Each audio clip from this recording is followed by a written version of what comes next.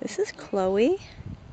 She and her 13 year old compadre Parker are from Georgia and they're staying with us for oh four days three nights. Oh we won't watch that. Chloe. Hi Chloe. Chloe has a funny mannerism. She curls her lips even when she's happy and shows her teeth yeah you do you're kind of funny you're a funny girl Yes, yes. There's our Mr. Bailey out doing yard patrol duty. There's Parker.